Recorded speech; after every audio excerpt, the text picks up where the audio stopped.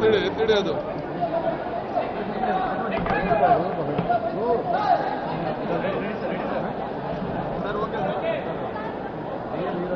Sir ವಿಶ್ವಾಸ ಮತ ನಿರ್ಣಯಕ್ಕೆ ಸೋಲಾಯಿತು ವಿಶ್ವಾಸ ಮತ ನಿರ್ಣಯಕ್ಕೆ ಸೋಲಾಯಿತು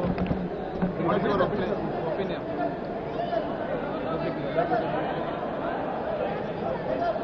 ಭಾರತದ ರಾಜಕಾರಣದಲ್ಲಿ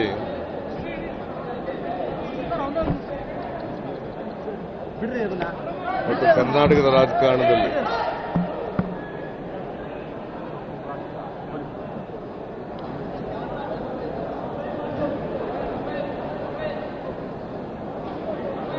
ಇದು ಒಂದು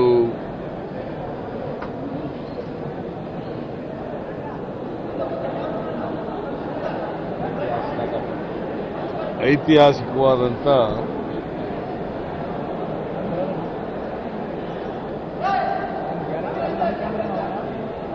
ಘಟನೆ.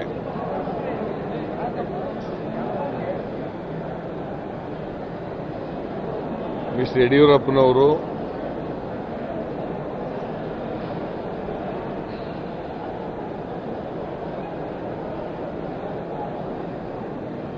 ವಿಧಾನಸೌಧದಲ್ಲಿ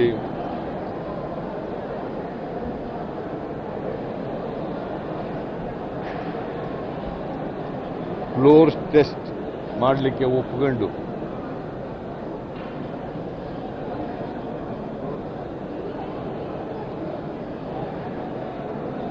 ಫ್ಲೋರ್ ಟೆಸ್ಟ್ ಮಾಡಲಿಕ್ಕೆ ಅಸಮರ್ಥನಾಗಿ. ಪಲಾಯನವಾದ ಮಾಡಿರ್ತಕ್ಕಂಥದ್ದು. ಪ್ರಜಾಪ್ರಭುತ್ವದ ಇದು ಒಂದು ವಿಜಯ. ಸಂವಿಧಾನದ ವಿಜಯ.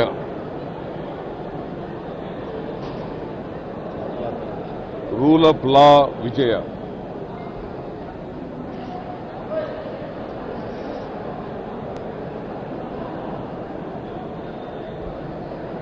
ರಾಜ್ಯಪಾಲರ ಮೇಲೆ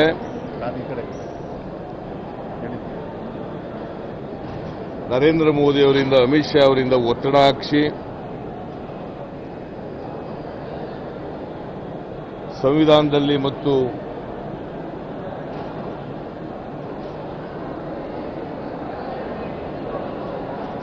ಸರ್ವೋಚ್ಚ ನ್ಯಾಯಾಲಯದ ತೀರ್ಪುಗಳು ವಿರುದ್ಧವಾಗಿದ್ದರೂ ಕೂಡ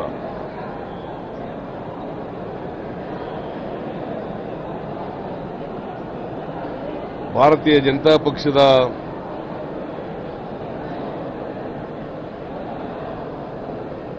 ಲೆಜಿಸ್ಲೇಚರ್ ಪಾರ್ಟಿ ಲೀಡರ್ ಯಡಿಯೂರಪ್ಪ ಅವರನ್ನು ಕರೆದು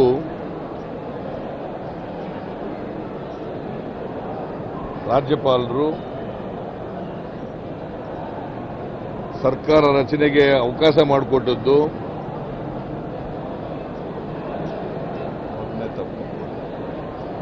ಪ್ರಜಾಪ್ರಭುತ್ವದ ಒಂದು ಕಗ್ಗೊಲೆ.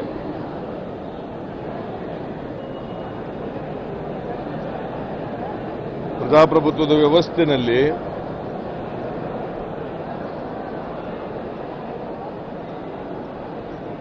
ಜನರು ಕೊಟ್ಟಂತ ಚುನಾವಣೆಯಲ್ಲಿ ಜನರು ಕೊಟ್ಟಂತ ತೀರ್ಪನ್ನ ಒಪ್ಕೋಬೇಕಾಗಿರ್ತಕ್ಕಂಥದ್ದು ಎಲ್ಲಾ ಪ್ರಜಾಪ್ರಭುತ್ವವಾದಿಗಳ ಕರ್ತವ್ಯ ಜವಾಬ್ದಾರಿ.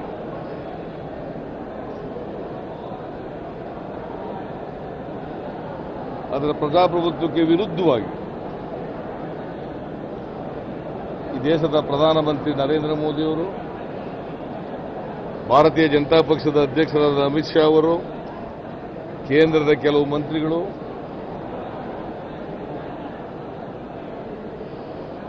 ನಡ್ಕೊಂಡಿರ್ತಕ್ಕಂಥ ರೀತಿ ಅತ್ಯಂತ ಖಂಡನೀಯವಾದದ್ದು.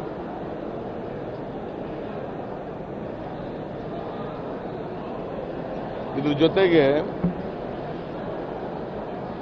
ಯಡಿಯೂರಪ್ಪನವರು ಪ್ರಮಾಣ ವಚನ ತಗೊಂಡ ಮೇಲೆ ಅವರು ಕೇಳಿದ್ದು ಒಂದು ವಾರದ ಸಮಯ ಬಹುಮತ ಸಾಬೀತು ಮಾಡಲಿಕ್ಕೆ. ಅದರ ರಾಜ್ಯಪಾಲರು ಕೊಟ್ಟದ್ದು ಹದಿನೈದು ದಿನಗಳು. ಇದು ಬಹಳ ಸ್ಪಷ್ಟವಾಗಿ ಸೂಚಿಸ್ತದೆ. ರಾಜ್ಯಪಾಲರು, ಬಿಜೆಪಿ ಪಕ್ಷದ ಜೊತೆ, ಬಿಜೆಪಿ ನಾಯಕತ್ವ ಜೊತೆ ಶಾಮೀಲಾಗಿದ್ದಾರೆ. ಅವರ ಬಾಲ ಬಡುಕರಂತೆ ವರ್ತಿಸಿದ್ದಾರೆ. ಇದು ಒಂದು. ಇದು ಹಿಂದೆ ನರೇಂದ್ರ ಮೋದಿ ಅವರು ಇದ್ದಾರೆ ಅನ್ನೋದಕ್ಕೆ ಬಹಳ ಸ್ಪಷ್ಟ ನಿದರ್ಶನ ಏನಪ್ಪಾ ಅಂತಂದ್ರೆ, ಈ ದೇಶದ ಪ್ರಧಾನಮಂತ್ರಿಯಾಗಿ ನರೇಂದ್ರ ಮೋದಿ ಭಾರತೀಯ ಜನತಾ ಪಕ್ಷಕ್ಕೆ ಬಹುಮತ ಬಂದಿಲ್ಲ ಅಂತ ಗೊತ್ತಿದ್ರೂ ಕೂಡ ನೂರ ನಾಲ್ಕು ಸ್ಥಾನಗಳೇ ಬಂದಿರತಕ್ಕಂಥದ್ದು ಅತಂತ್ರ ಪರಿಸ್ಥಿತಿ ಇದೆ ಅಂತ ಗೊತ್ತಿದ್ರೂ ಕೂಡ ನಾವು ಸರ್ಕಾರ ಮಾಡೇ ಮಾಡ್ತೀವಿ, ಬಿಜೆಪಿ ಸರ್ಕಾರ ಮಾಡೇ ಮಾಡ್ತೀವಿ, ಬೇರೆಯವರಿಗೆ ಸರ್ಕಾರ ಮಾಡಲಿಕ್ಕೆ ಬಿಡಲ್ಲ ಅಂತ ಹೇಳಿಕೆಯನ್ನು ಕೊಟ್ಟಿರ್ತಕ್ಕಂಥದ್ದು ಇದೆಯಲ್ಲ, ಅದು ಇನ್ನೂ ಖಂಡನೀಯ. ಅದರ ಅರ್ಥ ನರೇಂದ್ರ ಮೋದಿ ಅವರೇ ಇದ್ರ ಹಿಂದ್ಗಡೆ ಇದ್ದಾರೆ. ರಾಜ್ಯಪಾಲರ ಮೂಲಕ ಈ ತರದ ಒಂದು ತೀರ್ಮಾನವನ್ನು ಮಾಡಿಸಿದ್ದಾರೆ. ಮತ್ತೆ ಕುದುರೆ ವ್ಯಾಪಾರ ಮಾಡಲಿಕ್ಕೆ ಕುಮ್ಮಕ್ಕನ್ನ ಕೊಟ್ಟಿದ್ದಾರೆ. ಬಹಳ ಸ್ಪಷ್ಟವಾಗಿ ಗೊತ್ತಾಗ್ತದೆ. ಆಮೇಲೆ ಯಡಿಯೂರಪ್ಪನವರು ಕೂಡ ಒಪ್ಕೊಂಡಿದ್ದಾರೆ ಈಗ. ನಾವು ಬೇರೆ ಪಕ್ಷದವರನ್ನ ಕಾಂಗ್ರೆಸ್ನವರನ್ನ ನಾವು ಭೇಟಿ ಮಾಡಿದ್ದದ್ದು, ಸಂಪರ್ಕ ಮಾಡಿದ್ದು ನಿಜ. ಅದಕ್ಕೆಲ್ಲ ಬೇಕು ದಾಖಲಾತಿಗಳು ಕೂಡ ಇದ್ದಾವೆ ಇವರಿಗೆ, ಭಾರತೀಯ ಜನತಾ ಪಕ್ಷದವರಿಗೆ, ಪ್ರಜಾಪ್ರಭುತ್ವದ ಬಗ್ಗೆ, ಸಂವಿಧಾನದ ಬಗ್ಗೆ, ಕಿಂಚಿತ್ತು ಗೌರವ ಇಲ್ಲ ಅಂತಕ್ಕಂಥದ್ದು ಬಹಳ ಸ್ಪಷ್ಟವಾಗಿ ಗೊತ್ತಾಗ್ತದೆ. ಇವರು ಮಹಾ ಡೋಂಗಿಗಳು ಅಂತಕ್ಕಂಥದ್ದು ಗೊತ್ತಾಗ್ತದೆ. ಪ್ರಜಾಪ್ರಭುತ್ವ ವಿರೋಧಿಗಳು, ಸಂವಿಧಾನ ವಿರೋಧಿಗಳು, ಜನಾದೇಶವನ್ನು ಧಿಕ್ಕರಿಸ್ತಕ್ಕಂಥವರು. ಈ ಮೋದಿ ಮತ್ತೆ ನರೇಂದ್ರ ಮೋದಿ ಅವರು ಇದ್ದಾರಲ್ಲ ಮೋದಿ ಮತ್ತೆ ಅಮಿತ್ ಶಾ, ಒಬ್ರು ಹಿಟ್ಲರು, ಇನ್ನೊಬ್ರು ಗೋಬೆಲ್ಸ್. ಒಬ್ರು ಹಿಟ್ಲರ್. ನರೇಂದ್ರ ಮೋದಿ, ಇನ್ನೊಬ್ಬರು ಗೋಬೆಲ್ಸ್ ಅವ್ರ ಮಂತ್ ಅವ್ರ ಮಂತ್ರಿಮಂಡಲದಲ್ಲಿ ಒಬ್ಬರು ಹಿಟ್ಲರ್ ಕಾಲದಲ್ಲಿ ಒಬ್ರು ಮಂತ್ರಿ ಇದ್ರು. ಗೋಬೆಲ್ಸ್ ಅಂತ. ಒಬ್ಬರು ಹಿಟ್ಲರ್, ನರೇಂದ್ರ ಮೋದಿ, ಅಮಿತ್ ಶಾ, ಗೋಬೆಲ್ಸ್. ಬರೀ ಅಪಪ್ರಚಾರ ಮಾಡ್ತಕ್ಕಂಥದ್ದೇ. ಅಪಪ್ರಚಾರ ಮಾಡೋದು ಬಿಟ್ಟರೆ ಬೇರೆ ಏನೂ ಇಲ್ಲ. ಜನಗಳಿಗೆ ಸುಳ್ಳು ಹೇಳೋದು, ಜನಗಳನ್ನ ದಾರಿ ತಪ್ಪಿಸೋದು ಭಾವನಾತ್ಮಕವಾದ ವಿಚಾರಗಳನ್ನು ಹೇಳೋದು, ಇದು ಬಿಟ್ಟರೆ ನೀವು ಥ್ರೂಔಟ್ ಅವರ ಪ್ರಚಾರ ನೋಡಿ, ಅವ್ರ ಭಾಷಣಗಳನ್ನು ನೋಡಿ, ಅಭಿವೃದ್ಧಿ ಬಗ್ಗೆ ಚರ್ಚೆನೇ ಮಾಡಲಿಲ್ಲ. ಹಾಗಾಗಿ ಇವತ್ತು ಅವ್ರು ಏನು ಅನ್ಕೊಂಡಿದ್ರು? ನಾವು ಪ್ರಜಾಪ್ರಭುತ್ವದಲ್ಲಿ ಏನಾರು ಆಟ ಆಡ್ಬೋದು, ಕೇಂದ್ರದಲ್ಲಿ ಅಧಿಕಾರ ಇದೆ ರಾಜ್ಯಪಾಲರು ನಮ್ಮವರಿದ್ದಾರೆ. ಆರ್ ಎಸ್ ಎಸ್ ಇಂದ ಮೂಲದವರಿದ್ದಾರೆ, ಬಂದ ಮೂಲದಿಂದ, ಆರ್ ಎಸ್ ಎಸ್ ಮೂಲದಿಂದ ಬಂದವರಿದ್ದಾರೆ. ನಮ್ಮ ತಾಳಕ್ಕೆ ತಕ್ಕಂತೆ ಕುಣಿತಾರೆ ಅವರು ಕುಣಿಸಬಹುದು ಅಂತ ಏನು ಅನ್ಕೊಂಡಿದ್ರು. ಅದಕ್ಕೆ ನ್ಯಾಯಾಲಯನೂ ಕೂಡ ಬಿಡಲಿಲ್ಲ.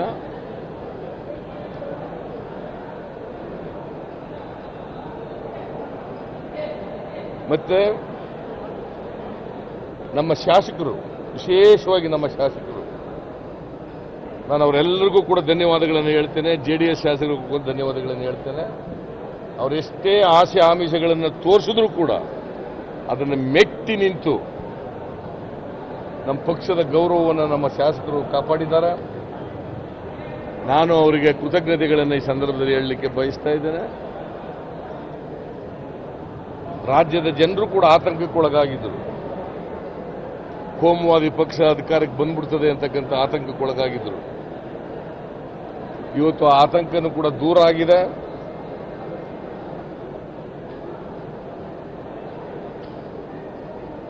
ನಮ್ಮ ಶಾಸಕರು ಕೋಮುವಾದಿ ಪಕ್ಷ ಅಧಿಕಾರಕ್ಕೆ ಬರಲಿಕ್ಕೆ ಬಿಟ್ಟಿಲ್ಲ.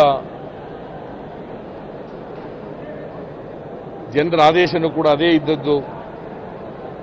ಯಾವ ಪಕ್ಷಕ್ಕೂ ಬಹುಮತ ಕೊಡದೇ ಇರಬಹುದು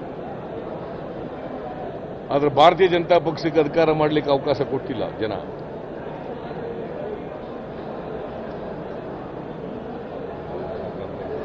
ಸೊ ನಮ್ಮ ಚುನಾವಣೆಯಲ್ಲಿ ಅಪಪ್ರಚಾರನೇ ಬಹಳ ದೊಡ್ಡದಾಗಿ ಪ್ರಚಾರ ಮಾಡಿದ್ರು?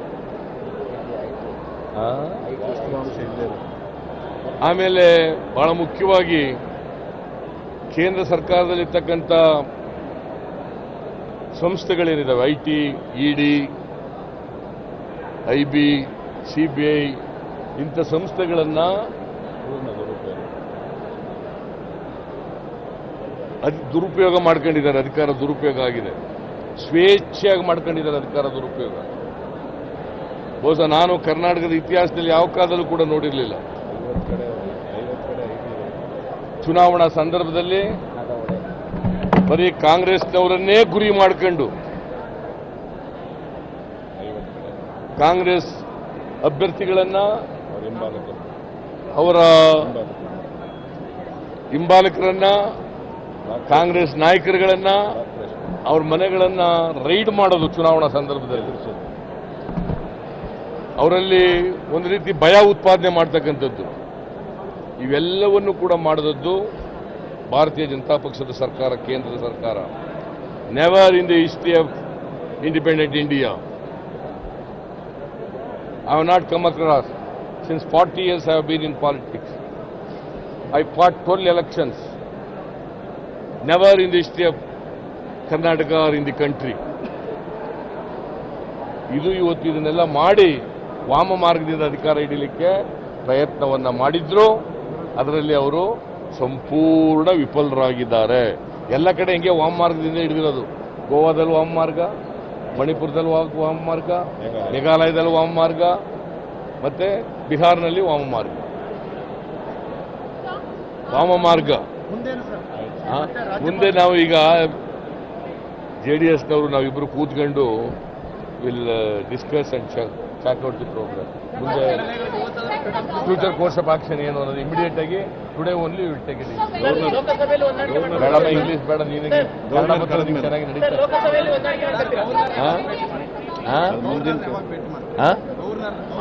ಇವತ್ತು ಆದ್ಮೇಲೆ for the governor to invite as soon as soon this confidence moved by mister Yeddyurappa ಈಗಾಗಲೇ ನಾವು ಲೆಟರ್ ಕೊಟ್ಟಿದ್ದೀವಿ ಸರ್ ಪ್ರೆಸ್ ಮಾಡ್ಲಿ ಮಾಡಿದ್ರೆ ಹೋಗ್ತಲ್ಲ ಇಟ್ ಇಸ್ ಸ್ಲ್ಯಾಬ್ಸ್ಡ್ ಜಂಟಿ ಶಾಸಕಾಂಗ ಸಭೆ ಏನಾದ್ರು ಮಾಡ್ತೀರಾ ಇಲ್ಲ ಅದೆಲ್ಲ ಈಗ ಕೂತ್ಕೊಂಡು ಮಾತಾಡ್ತೀವಿ shortest government ever in Karnataka politics. This is the most shortest government. ಹಾ? This is the shortest government possible, just a two-day government. Is it in history of Karnataka politics? That is why everybody takes undemocratic uh, decision. It happens like this. Sir, what is the next plan action? for you, will sit and decide, both JDS and Congress leaders will sit and decide. Today only we'll take a decision. No, no, that all, all those details have not been discussed. We'll sit and decide. What is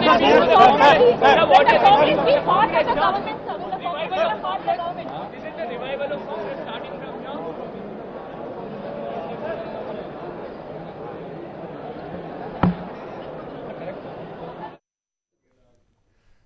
ಪ್ರಜಾಪ್ರಭುತ್ವಕ್ಕೆ ಸಿಕ್ಕಂಥ ವಿಜಯ ಅನ್ನೋ ಮಾತುಗಳನ್ನು ಹೇಳ್ತಾ ಇದ್ದಾರೆ. ಆದರೆ ಈ ವಿಜಯದ ಪತಾಕೆಯನ್ನು ಎಷ್ಟು ದಿನಗಳ ಕಾಲ ಆರಿಸ್ತಾರೆ ಈ ಜೆ ಡಿ ಎಸ್ ಮತ್ತು ಕಾಂಗ್ರೆಸ್ನ ಮೈತ್ರಿಯ ಸರ್ಕಾರ ಇವರ ಹನಿಮೂನ್ ಎಷ್ಟು ದಿನಗಳ ಕಾಲ ಇರುತ್ತೆ ಅನ್ನೋದ್ರ ಬಗ್ಗೆ ಜನ ಈಗ ಯೋಚನೆ ಮಾಡಬೇಕಾಗಿದೆ. ಎಸ್, ಈಗ ದೊಡ್ಡ ಜವಾಬ್ದಾರಿ ಎಲ್ಲ ಪಕ್ಷಗಳಿಗೂ ಕೂಡ. ಬಿ ಜೆ ಪಿಗೆ ಮುಂಬರುವ ಲೋಕಸಭಾ ಚುನಾವಣೆ ಒಂದು ಪ್ರತಿಷ್ಠೆಯ ಕಣವಾಗಿರುತ್ತೆ. ಇನ್ನು ಜೆ ಡಿ ಎಸ್ ಮತ್ತು ಕಾಂಗ್ರೆಸ್ಗೆ ಇಲ್ಲಿ ಸುದೀರ್ಘ ಕಾಲ ಸುಭದ್ರ ಸರ್ಕಾರವನ್ನು ಕೊಡುವಂಥ ಒಂದು ಹೊಣೆಗಾರಿಕೆ ಇದೆ. ಹಾಗೆಯೇ ಪ್ರಣಾಳಿಕೆ ವಿಚಾರಕ್ಕೆ ಬಂದಾಗ ಸಿಕ್ಕಾಪಟ್ಟೆ ಕನ್ಫ್ಯೂಷನ್ಸ್ ಆಗುತ್ತೆ. ಯಾವ ಪ್ರಣಾಳಿಕೆಯನ್ನು ಇವರು ಈಡೇರಿಸ್ತಾರೆ ಅನ್ನೋದನ್ನು ನೋಡೋಣ. ನಮ್ಮ ಹಿರಿಯ ಪತ್ರಕರ್ತರು, ರಾಜಕೀಯ ವಿಶ್ಲೇಷಕರಾದಂಥ ಈಶ್ವರ್ ದೈತೋಟ್ ಅವರ ಮಾತೇನು ಅಂತ ಹೇಳಿ ಈ ನಿಟ್ಟಿನಲ್ಲಿ. ಇವೆರಡೂ ಪಕ್ಷಗಳು ಪರಸ್ಪರ ವಿರುದ್ಧವಾಗಿ ಸ್ಪರ್ಧೆ ಮಾಡಿ ಅತ್ಲಾಗಿ ಇತ್ಲಾಗಿ ಆಕ್ರಮಣ ಮಾಡಿಕೊಂಡು ಪ್ರಚಾರ ಮಾಡಿಕೊಂಡು ಬಂದಂಥ ಇದು.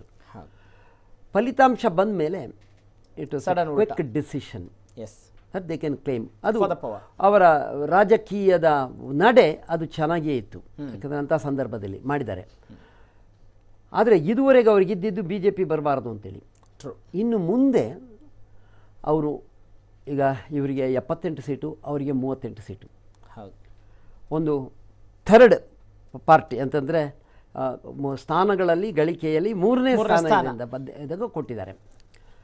ಮತ್ತು ಎರಡನೇದು ಕೂಡ ಅವರ ಮತದಾರರಲ್ಲಿ ಮತದಾರ ಸಮುದಾಯಗಳಲ್ಲಿ ಕೂಡ ಭಾಳ ವ್ಯತ್ಯಾಸ ಇದೆ. ಹಾಂ. ಅಂದರೆ ಈ ಮೈತ್ರಿ ಕಾಂಗ್ರೆಸ್ಸು ಕಾಂಗ್ರೆಸ್ಸು ಮತ್ತು ಇದು.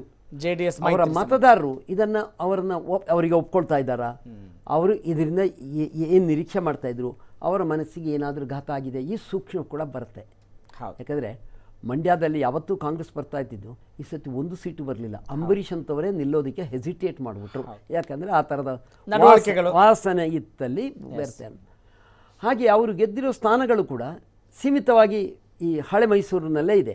ಉತ್ತರ ಕರ್ನಾಟಕದಲ್ಲಿ ಉತ್ತರ ಕರ್ನಾಟಕದಲ್ಲಿ ಒಂದು ಎರಡು ಸೀಟ್ ಇದೆ ಮತ್ತು ಸಾಕಷ್ಟು ಓಟು ಬಂದಿರ್ಬೋದು.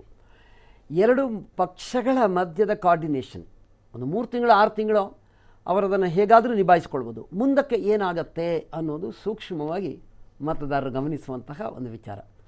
ಎರಡನೇದು ಅವರ ಪ್ರಣಾಳಿಕೆಗಳಿಗೆ ಕೊಟ್ಟಿರೋ ಭರವಸೆ. ಅದನ್ನು ಸೂಕ್ಷ್ಮ ಹೇಳಿದ್ರಿ. ಎಸ್ ಹೇಗೆ ಅದನ್ನು ಅಳವಡಿಸ್ಕೊಳ್ತಾರೆ? ಎಸ್ ಅದನ್ನು ಯಾವುದಕ್ಕೆ? ಆದ್ಯತೆ ಕೊಡ್ತಾರೆ. ಇದೆಲ್ಲ ಸೂಕ್ಷ್ಮಗಳಾದಾಗ ಮೊದಲು ಒಂಥರ ಕಸಿವಿಸಿ ಆಗೋದು ಕಾರ್ಯಕರ್ತರಿಗೆ. ಆ ಕಾರ್ಯಕರ್ತರನ್ನು ಅವ್ರು ಯಾರೂ ನಿರೀಕ್ಷೆ ಮಾಡಿರಲ್ಲ. ನಾಯಕರುಗಳೇ ಮುಂದೆ ಈ ಥರ ಏನಾದರೂ ಆದರೆ ನಾವೊಂದು ಪಟ್ಟು ಹಾಕಬಹುದು ಅನ್ನೋದು ಸೂಕ್ಷ್ಮವನ್ನು ಮನಸ್ಸಿನಲ್ಲಿ ಇಟ್ಕೊಂಡಿರ್ಬೋದು. ಅದು ಕಾಂಗ್ರೆಸ್ನವರಾಗಿರ್ಬೋದು, ಜೆ ಡಿ ಎಸ್ನವರಾಗಿರ್ಬೋದು, ಇಟ್ಕೊಂಡಿರ್ಬೋದು. ಆದರೆ ಕಾರ್ಯಕರ್ತರಿಗೆ ಅವರು ಸಂಪೂರ್ಣ ತಮ್ಮನ್ನು ಸಮರ್ಪಿಸಿಕೊಂಡು ಈ ಚುನಾವಣೆಯಲ್ಲಿ ಕಾಂಗ್ರೆಸ್ ವಿರುದ್ಧ, ಜೆ ಡಿ ಎಸ್ ವಿರುದ್ಧ ಹೋರಾಟ ಮಾಡಿದವರು. ಅವರನ್ನು ಹೇಗೆ ಸಮಾನದಲ್ಲಿ ಇಟ್ಕೊಳ್ತಾರೆ ಅನ್ನೋದು ಬಹಳ ಮುಖ್ಯ ಆಗುತ್ತೆ.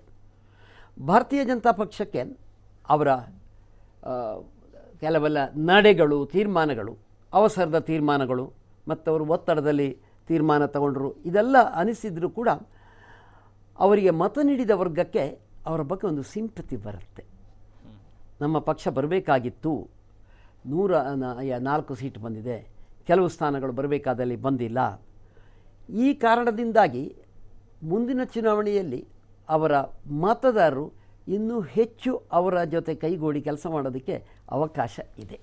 ಎಸ್ ಅಂದರೆ ಈಗ ಎಲ್ಲ ಬೆಳವಣಿಗೆಗಳನ್ನು ಕೂಡ ಜನ ನೋಡ್ತಾ ಇದ್ದಾರೆ. ಈಗ ಮುಂದೆ ಯಾವ ರೀತಿಯಂಥ ನಿರ್ಧಾರವನ್ನು ಕೈಗೊಳ್ಳಬೇಕು ಯಾಕಂತ ಹೇಳಿದ್ರೆ ಮೈತ್ರಿ ಸರ್ಕಾರಕ್ಕೆ ಜನಾದೇಶ ಕೊಟ್ಟಿಲ್ಲ. ಅದನ್ನು ಕೂಡ ನಾವು ನೋಡ್ತಾ ಇದ್ದೇವೆ. ಹಾಗಾದರೆ ಇಲ್ಲಿ ಅದನ್ನು ಅವರು ಸಮರ್ಥನೆ ಮಾಡಿಕೊಳ್ಬೇಕು ಅಂತ ಹೇಳಿದರೆ ಜನರಿಗೆ ನ್ಯಾಯ ಒದಗಿಸ್ಬೇಕು ಅಂತ ಹೇಳಿದರೆ ಸುಭದ್ರ ಸರ್ಕಾರ ಕೊಟ್ಟರೆ ಮಾತ್ರನೇ ಅದು ಸಾಧ್ಯ ಅದಕ್ಕೆ ಅವರ ಕಾರ್ಯಕರ್ತರಲ್ಲಿ ಏನು ತುಮುಲಗಳು ಹೇಳ್ತವೆ ಈಗ ಅನ್ನೋದು. ತಳ ಸ್ಥಳ ಇದು ತಳಮಟ್ಟದ ಕಾರ್ಯಕರ್ತರಲ್ಲಿ ಅವರು ಪರಸ್ಪರ ವಿರೋಧದಲ್ಲಿ ಹೋರಾಡಿದವರು. ಕಾರ್ಯಕ್ರಮಗಳ ಅನುಷ್ಠಾನ ಆಗುವಾಗ ಅವರು ಭರವಸೆ ಕೊಟ್ಟಿದ್ದಾಗದೆ ಇನ್ಯಾವುದೋ ಕಾರ್ಯಕ್ರಮ ಬಂದಾಗ ಅಲ್ಲಿ ಉಂಟಾಗುವ ತಳಮಳ ಅದನ್ನು ಹೇಗೆ ಎರಡೂ ಪಕ್ಷಗಳು ನಿಭಾಯಿಸ್ತವೆ? ನಿಜ ಜನರ ಪಾಯಿಂಟ್ ಆಫ್ ವ್ಯೂ ಅಲ್ಲಿ ನೋಡಿದಾಗ ನೀವು ಹೇಳಿದಂತ ಮಾತುಗಳು ಅಕ್ಷರಶಃ ಸತ್ಯ. ಅವರು ಈಗ ಮಾತಿನ ಮೂಲಕ ಏನ್ ಬೇಕಾದ್ರೂ ಹೇಳ್ಬಹುದು ಥಿಯರಿ ಮೂಲಕ ಹೇಳ್ಬೋದು ಆದ್ರೆ ಪ್ರಾಕ್ಟಿಕಲ್ ಎಕ್ಸಾಮ್ನಲ್ಲಿ ಇದು ಕಷ್ಟ ಸಾಧ್ಯ ಅನ್ನೋದು ಒಂದು ವಾಸ್ತವದ ಸಂಗತಿ ನಮ್ಮ ಸಂಕೀರ್ಣವಾದ ಕೆಲ್ಸ ಆಗತ್ತೆ. ಓಕೆ ರಾಘವೇಂದ್ರ ಅವ್ರು ಏನ್ ಹೇಳ್ತಾರೆ ಅಂತ ಕೇಳೋಣ ಜೆಡಿಎಸ್ ಡಿ ಎಸ್ ವಕ್ತಾರರು. ಈಗ ಪ್ರ ಪ್ರಶ್ನೆ ಏನು ಅಂತ ಹೇಳಿದ್ರೆ ಈಗ ನೀವು ನೀವೇನೋ ಅಧಿಕಾರದ ಸಂದರ್ಭದಲ್ಲಿ ರಾಜಕೀಯ ನಡೆಯನ್ನ ಒಂದು ಪ್ರಬುದ್ಧತೆಯನ್ನ ನೀವು ಪ್ರದರ್ಶಿಸಿದ್ದೀರ ಅಂತಾನೆ ಅಂದ್ಕೊಳ್ಳೋಣ. ಜಾಣ ನಡೆ ಅಂತಾನೆ ಅಂದ್ಕೊಳ್ಳೋಣ. ಆದ್ರೆ ಈ ಜಾಣ ನಡೆ ನಮ್ಮ ಜನರಿಗೆ ಕುರುಡುತನವನ್ನ ತರದೇ ಇರಲಿ ಅನ್ನೋದು? ಇದೆಲ್ಲ ಇವ್- ಇವತ್ತು ರಾಜ್ಯದ ಜನರಿಗೆ ಜಗಜ್ಜಾಹೀರಾಗಿದೆ. ಒಂದು ಸರ್ಕಾರ ರಚನೆ ಆಗಬೇಕಾದ್ರೆ ಅದಕ್ಕೆ ಸಂಖ್ಯಾಬಲ ಬೇಕು. ಸಂಖ್ಯೆ ಇಲ್ದಿ ಇಲ್ದಿದ್ದಾಗ ಯಾಕೆ ಮಾಡೋಕೆ ಹೋದ್ರು? ಇವತ್ತು ಯಡಿಯೂರಪ್ಪನವರು ಸ್ವತಃ ಅವ್ರ ಭಾಷಣದಲ್ಲಿ ಹೇಳಿದ್ದಾರೆ.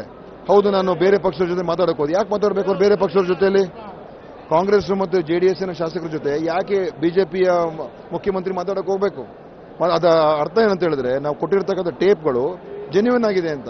ಅವ್ರು ಪ್ರಯತ್ನ ಮಾಡಿದ್ದಾರೆ. ಆದರೆ ಇವತ್ತು ನಿಜವಾಗ್ಲೂ ಹೇಳಬೇಕಾದ್ರೆ ಕರ್ನಾಟಕದಲ್ಲಿ ಪ್ರಜಾ ಪ್ರಜಾಪ್ರಭುತ್ವ ಉಳಿದಿದೆ ರಕ್ಷಣೆ ಆಗಿದೆ ಮತ್ತು ರಾಜ್ಯಪಾಲರ ಒಂದು ತೀರ್ಪು ಏನಿದೆ ತೀರ್ಮಾನ ಏನಿತ್ತು ಇವತ್ತು ಅದು ಅನ್ಯಾಯದ ತೀರ್ಮಾನ ಅಂತ ಇವತ್ತು ಸ್ಪಷ್ಟವಾಗಿ ಗೋಚರ ಆಗ್ತಾ ಇದೆ. ಮೈತ್ರಿ ಸರ್ಕಾರ ಐದು ದಿನ ಐದು ವರ್ಷ ಪೂರೈಸೋದಿಲ್ಲ ಮಧ್ಯದಲ್ಲೂ ಕೂಡ ಎಲೆಕ್ಷನ್ ಬರ್ಬೋದು ಅನ್ನೋ ಸೂಚನೆ ಅನ್ನ ಮುನ್ಸೂಚನೆ ಇಂಡೈರೆಕ್ಟ್ ಆಗಿ ಯಡಿಯೂರಪ್ಪ ಹೇಳಿದ್ದಾರೆ. ನೋಡಿ ಅವರು ಅಸ್ಥಿರ ಸರ್ಕಾರ ಅಸ್ಥಿರತೆ ಮಾಡ್ತಕ್ಕಂಥದ್ದನ್ನ ಖಂಡಿತ ಮಾಡೇ ಮಾಡ್ತಾರೆ ಪ್ರಯತ್ನ ಮಾಡೇ ಮಾಡ್ತಾರೆ.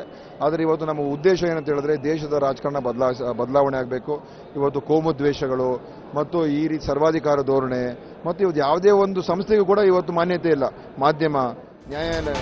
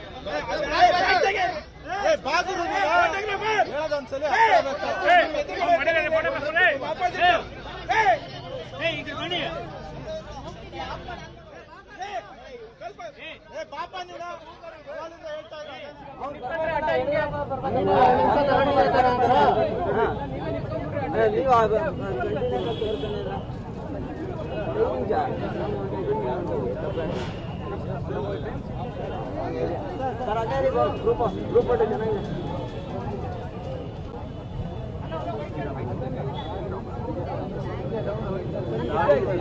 ಆಯ್ತು ಸರ್ ಚಿಕ್ಕ ಆಡಕ್ಕೆ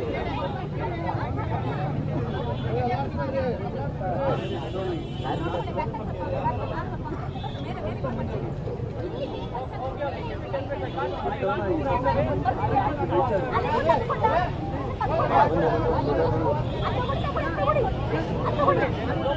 சார் ஸ்ரீராம் சார் சார் இங்கே இருக்கு அங்கே ஒட்டியே வந்து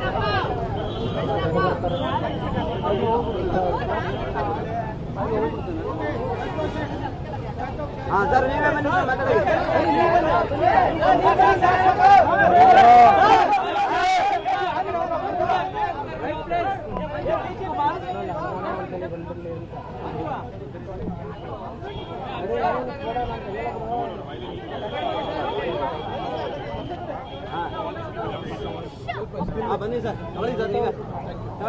ಸಾಯಂಕಾಲ ಪ್ರೆಸ್ ಮೀಟ್ ಇದೆಯಲ್ಲ ಆರು ಗಂಟೆಗೆ?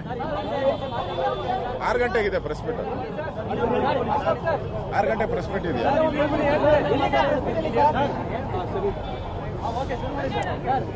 ಗೌರವಾನ್ವಿತ ರಾಜ್ಯಪಾಲರಿಗೆ ಒಂದು ಲೈನಲ್ಲಿ ನನ್ನ ರಾಜೀನಾಮೆ ಪತ್ರವನ್ನು ಅಂಗೀಕರಿಸಿ ಅನ್ನೋ ಒಂದು ಲೈನನ್ನು ಇವತ್ತು ಯಡಿಯೂರಪ್ಪನವರು ಗೌರವಾನ್ವಿತ ರಾಜ್ಯಪಾಲರಿಗೆ ಕೊಟ್ಟಿದ್ದಾರೆ. ಅವರು ಕೂಡ ಅದನ್ನು ಅಕ್ಸೆಪ್ಟ್ ಮಾಡಿ ಮುಂದಿನ ಒಂದು ಮುಖ್ಯಮಂತ್ರಿ ಆಗೋವರೆಗೂ ಕಂಟಿನ್ಯೂ ಆಗೋವಂಥದ್ದು ಕೂಡ ಲೆಟರ್ ಕೊಟ್ಟಿದ್ದಾರೆ. ಇವತ್ತು ಒಂದು ರೀತಿ ಕರ್ನಾಟಕದಲ್ಲಿ ಕಾಂಗ್ರೆಸ್ ಸರ್ಕಾರ ಜನದ್ರೋಹವನ್ನು ಬಗ್ದಿದೆ. ಕಳೆದ ಬಾರಿ ನೂರ ಇಪ್ಪತ್ತೆರಡು ಸ್ಥಾನಗಳನ್ನು ಗೆದ್ದಂತ ಕಾಂಗ್ರೆಸ್. ನೂರ ಇಪ್ಪತ್ತೆರಡು ಸ್ಥಾನಗಳನ್ನು ಗೆದ್ದಂತ ಕಾಂಗ್ರೆಸ್ ಎಪ್ಪತ್ತೆಂಟು ಸ್ಥಾನಕ್ಕೆ ಬಂದಿದೆ. ನಲವತ್ತು ಸ್ಥಾನಗಳನ್ನು ಗೆದ್ದಂತ ಜೆಡಿಎಸ್ ಮೂವತ್ತೆಂಟು ಸ್ಥಾನಕ್ಕೆ ಬಂದಿದೆ. ಬಿಜೆಪಿ ನಲವತ್ತು ಸ್ಥಾನದಿಂದ ನೂರ ನಾಲ್ಕು ಸ್ಥಾನಕ್ಕೆ ಬಂದಿದೆ. ಇದು ಜನ ಕೊಟ್ಟಂತ ತೀರ್ಮಾನ. ಇವತ್ತು ಕಾಂಗ್ರೆಸ್ ಅವರು ಜನದ್ರೋಹವನ್ನು ಮಾಡಿದ್ದಾರೆ. ಕರ್ನಾಟಕದ ಜನಾದೇಶಕ್ಕೆ did you notice that after the entire exercise in the Vidhan Sabha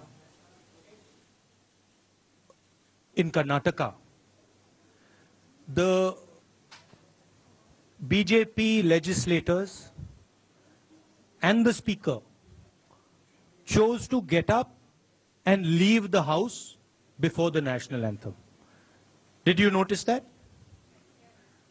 Right? You'll all noticed that. And in a way, this is what we are fighting today.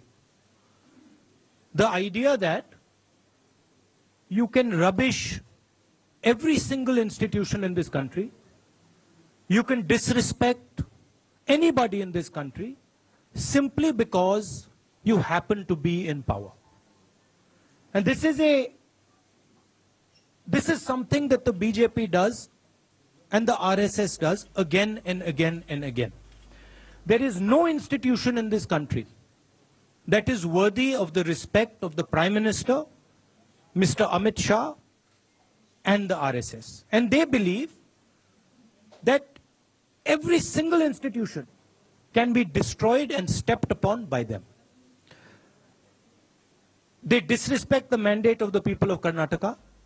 They disrespect the mandate of the people of Goa. They disrespect the mandate of the people of Manipur, one after the other, one after the other, one after the other. And I'm very proud to say that they have been shown that in India, power is not everything.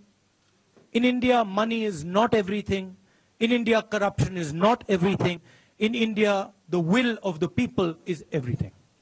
And I would like to give my best wishes to the people of Karnataka, thank the people of Karnataka, give my best wishes to all our party members, all our party uh, leaders, my best wishes to Mr. Dev Gowda, his party members and, and leaders for defending what is much more than simply the election of Karnataka.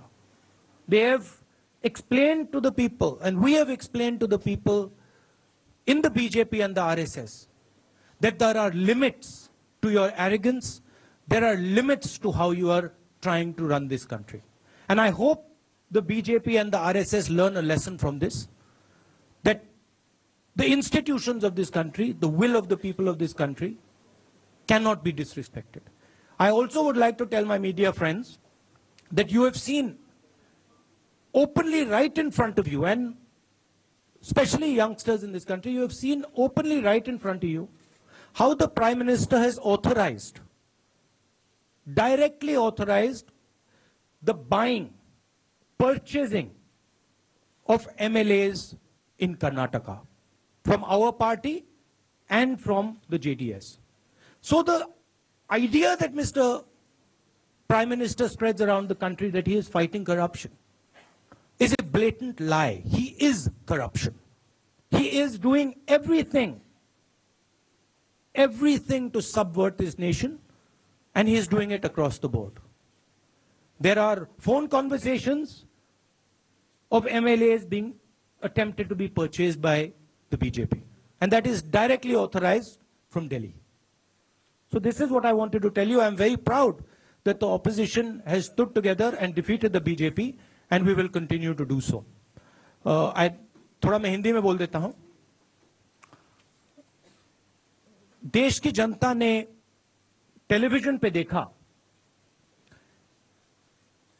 कि कर्नाटक की विधानसभा में national anthem होने से पहले, बजने से पहले BJP के जो मेंबर्स थे, स्पीकर थे, वो उठ के चले गए। ये उनकी एक निशान है कि वो हिंदुस्तान के किसी भी इंस्टीट्यूशन को चाहे वो पार्लियामेंट हो विधानसभा हो सुप्रीम कोर्ट हो किसी भी इंस्टीट्यूशन की इज़्ज़त नहीं रखते हैं।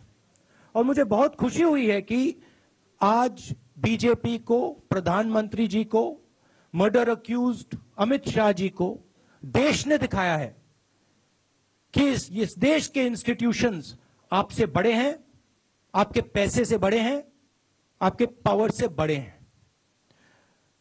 खुलेआम प्रधानमंत्री जी ने, अमित शाह जी ने, कांग्रेस पार्टी और जनता दल के लेजिस्लेटर्स एमएलए को खरीदने की कोशिश की है। टेप रिकॉर्डिंग्स सबके सामने है। प्रधानमंत्री जी भ्रष्टाचार की बात करते हैं। मगर सच्चाई है कि प्रधानमंत्री जी भ्रष्टाचार को बढ़ा रहे हैं और एक प्रकार से प्रधानमंत्री भ्रष्टाचार हैं मैं कांग्रेस पार्टी के नेता कार्यकर्ता जेडीएस के नेता देवगौड़ा जी उनके कार्यकर्ता और कर्नाटका की जनता को धन्यवाद करना चाहता हूं सब एक साथ मिलकर खड़े हुए और ये जो ಬಿ ಎಸ್ ಯಡಿಯೂರಪ್ಪ ಎಂಬ ಹೆಸರಿನಲ್ಲಿ ನಾನು ನೇರ ರಾಜ್ಯಪಾಲರು ಹೋಗಿ ರಾಜೀನಾಮೆ ಕೊಡ್ತಾ ಇದ್ದೇನೆ ನಮಸ್ಕಾರ